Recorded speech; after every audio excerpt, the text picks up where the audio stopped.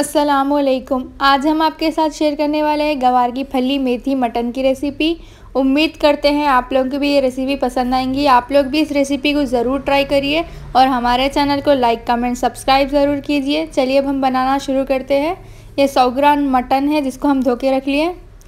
दो medium size की कटी हुई प्याज। तेल एक कप मेथी। गवार की फली। अदरक लहसुन का पेस्ट मिर्ची पाउडर, हल्दी पाउडर, नमक। प्रेशर कुकर में ऐड करेंगे हम तेल, एक कप। तेल को अच्छी तरीके से गर्म हुए बाद हम इसके अंदर ऐड करेंगे प्याज। दो मीडियम साइज़ की कटी हुई प्याज ऐड करेंगे। प्याज को अच्छी तरीके से फ्राई कर लेंगे, इसका कलर चेंज हुए तक।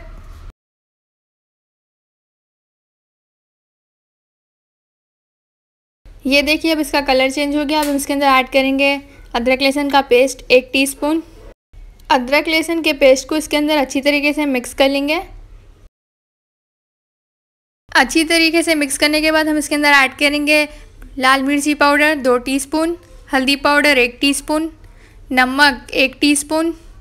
ये सब मसालों को अच्छी तरीके से मिक्स कर लेंगे।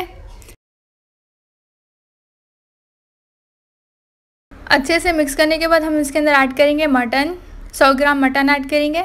मटन को भी इस मसाले में अच्छी तरीके से मिक्स कर लेंगे।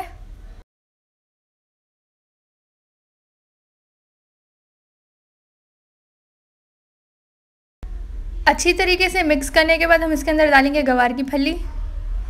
गवार की फली को भी इसके अंदर अच्छी तरीके से मिक्स कर लेंगे।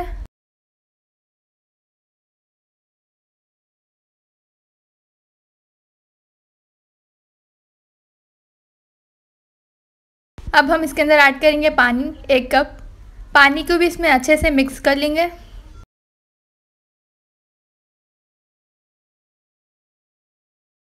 अब हम इसको कवर करके पाँच मिनट के लिए प्रेशर कुक होने के लिए छोड़ देंगे।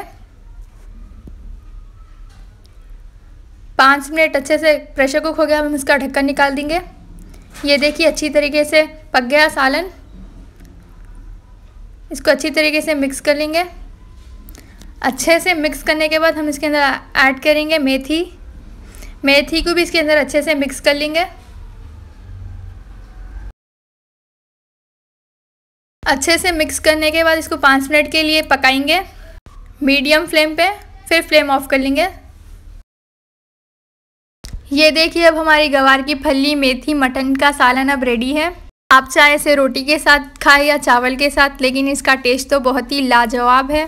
आप लोग भी इस रेसिपी को ज़रूर ट्राई करिए। और ये रेसिपी अच्छी लगती है तो वीडियो को लाइक चैनल को शेयर और सब्सक्राइब ज़रूर कीजिए। थैंक्स फॉर वॉचिंग अल्लाह हाफिज़।